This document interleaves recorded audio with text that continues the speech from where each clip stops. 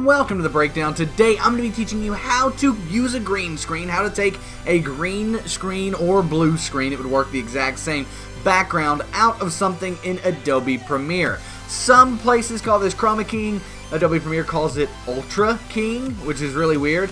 Uh, but basically what you want to do is once you have your green screen footage imported into Adobe Premiere, I have this cool bullet flying through the air, right? Once you have whatever you're going to use for your green screen footage imported, simply go to Effects, right up here, right? Yours might be up here, might be over here, just look for Effects.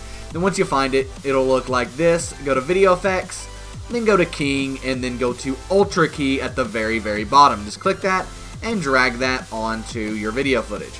Then come back over to Effect Controls, right? If this isn't open anywhere. When you add an effect, it should open it, but if it doesn't, you can uh, go up here and add it as a tile, or I'm sorry, as the window, and just add your effect controls. But anyway, once you're done with this, you want to come under Ultra Key, and then Key Color right here, you want to click on the pin dropper, come over here to the green, click on it, and boom, there you go. It is now chroma keyed out. So if we go grab an image real quick, so I've added in this photo here, and we want to put it with our video.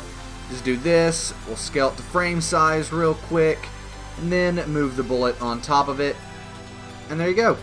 There it is. The bullet now comes over the picture for whatever reason. There's many different ways you can use chroma key.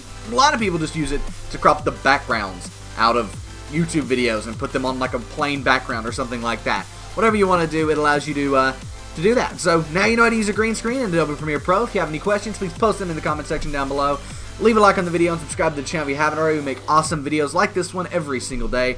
I am App Guys. Thank you so much for watching. Peace.